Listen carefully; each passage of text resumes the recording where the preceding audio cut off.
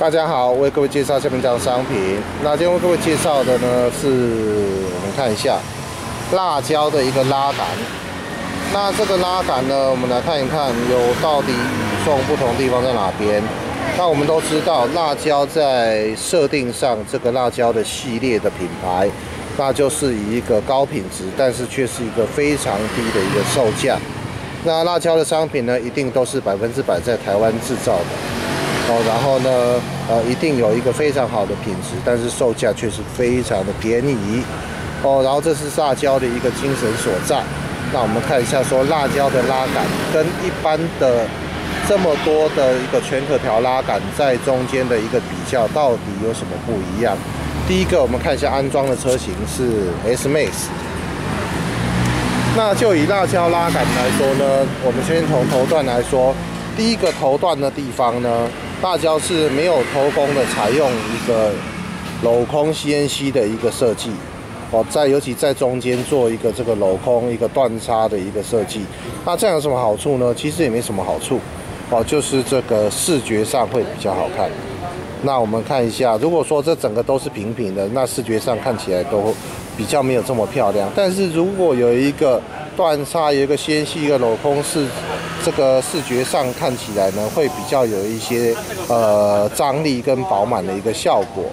那我们来看一下，说像这个中段的部分，那中段部分呢，辣椒呢是采用六档的一个设计，然后呢，呃，拨盘呢，哦，这有拨盘的地方，我们来换个角度看一下，拨盘的地方，不知道各位有没有看到？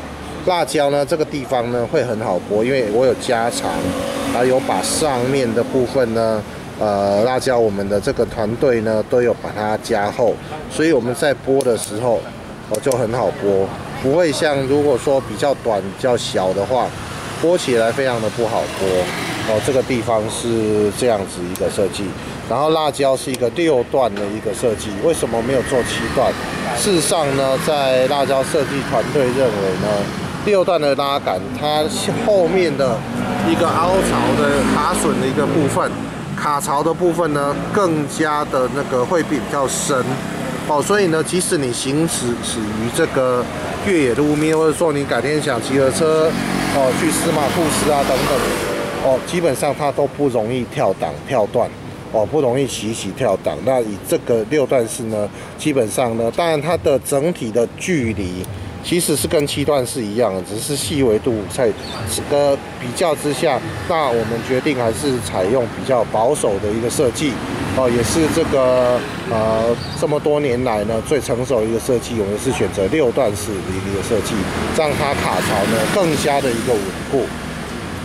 再来尾段的一个部分，我们发现辣椒呢会有一些与众不同的地方在哪边？它的粗度。它的整体的一个厚度会比一般的拉杆再厚一点点，这有什么好处呢？事实上就是你的手在拉的时候，一个触感会变好。那这有两个地方会让触感变好。第一个，加粗了厚度，就像我们如果拉一根筷子，跟拉一个汤匙的平面，那当然你拉汤匙的平面会比较舒服。那拉筷子因为太细了，拉起来反而不舒服。所以加宽的一个平面。会让我们手感会更棒，然后呢，更加的省力，那更加的舒适。你感觉上好像换了拉杆之后，呃，不知不觉间好像感觉刹车会变好一点点的一个感觉。哦，那当然这次是一个呃整体的力学跟你的一个舒适度拉起来的一个感觉，会有很大的一个差异在。这尤其在上下一个倒角的份做了一个大 R 角。哦，所以它摸起来其实非常的舒适。那在这是一个部分，第二个部分，辣椒不做伸缩的设计。当然，为什么不做伸缩设计呢？是我们伸缩设计在手摸的时候一定会有断差，这个断差其实摸起来非常的不舒服。然后调好了之后，基本上如果你把呃伸缩的调好了之后，基本上会呃比较少会去用到它。哦，事实上大概还是在这个位置，因为你固定就是在这个位置，已经习惯了。哦，其实伸缩设计也不是不没有说不好，只是呃还是有它的优点，又有它的缺点存在。哦，那以辣椒的一个呃就这个商品而言，它的设计上还是有考量这个地方。然后呢，拉杆的长度是做中短板。那很多全可调多段的拉杆呢，会一个小缺点，就是你装上去以后，拉杆会突出你的把手，会突出很多。哦，尤其是像外斗式手把会突出很多。但是基本上辣椒的拉杆不会，哦，基本上是平的。哦，为什么？因为你如果突出很多，我手在拉的时候会变有点像这样外面在拉。哦，应该是这样在拉才是正确的。那大家应该稍微懂我的意思，不是这样拉。哦，事实上还是有很大的一个差异在。这虽然都是一些小地方、小巧思，但是事实上跟我们整体的手在抓的时候的一个感觉，哦，有非常非常大的一个呃影响跟不一样。舒适度就是由此而来，拉起来，而不是这样在，不是这样在拉拉杆，是正前方在拉拉杆。哦，所以辣椒的拉杆在这一方面呢。呃，舒适度方面还是有考量到在里面的。那最后一个部分呢，呃，我们再跟各位说明一下，辣椒一个非常细节的一个地方，就是当你的指针段数调在中间的时候，这里的距离基本上跟原厂是差不多的，哦，跟原厂是差不多的。这样会有一个好处是，大家在设计的时候，它的单打中心点是。距离是以原厂的为标准，在原厂的时候，它是在中心点，等于说我们手大的人往前，我们手小的人往后，而中心点不是随意制定的，必须有一个标准存在。那以辣椒来说，就是这个标准。那如果以没有标准存在，我们常常会遇到很多拉杆，就是我把它调到最里面、最下面，让这里的距离最短的时候，我用力一拉。它很用力一拉的时候，它就会整个去碰到后面，碰到底的时候，刹车还在跑，车子停不下来哦。但是基本上辣椒在这一方面都有考量到。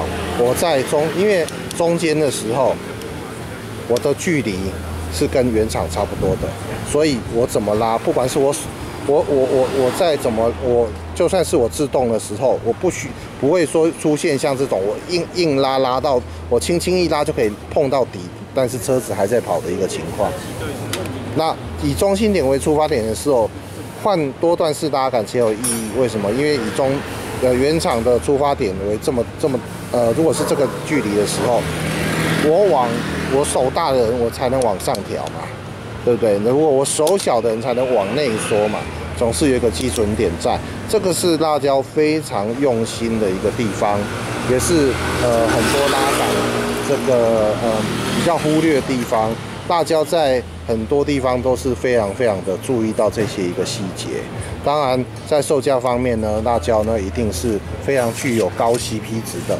然后在后面的一个尾段的一个修饰，也有做一个断差的一个修饰。还有最后呢，呃，你们以为各位同学以为辣椒就这样就是结束了吗？没有，它还有一个非常具巧思的地方，就是。不但辣椒要好看，还要更好看。不但要更好看，那还要有一点好玩的地方在里面。那又该怎么说呢？我们这样说好了，我们看一下辣椒，我们有没有发现，在最尾端的地方？一般来说，这是一个这个受力孔的地方。辣椒特别在这个地方呢，制作上了螺牙哦，这也是在我们国内的这个拉胶呃拉杆里面第一机第一次首创。如果我今天觉得我拉杆这样太单调，或者说我前面想红色，那我后面想其他颜色，事实上你可以拿像这个是镀钛螺丝，再加个垫片，直接你可以把它锁上去锁紧，做一个装饰，我做一个装饰非常好看，哦整体这样会看起来非常抢眼。那这样子呢，其实也不影响说。你手在拉的时候的一个呃手感，但如果说你会觉得说啊，如果万一有时候你出入呃比较频繁的市区，或者说真的我比较爱车，我不想要有我碰到，万一真的不小心碰到之后要伤，很简单，其实这个辣椒连这个的距离都有算过，它非常非常的细腻跟用心在里面。我们看到辣椒的这个。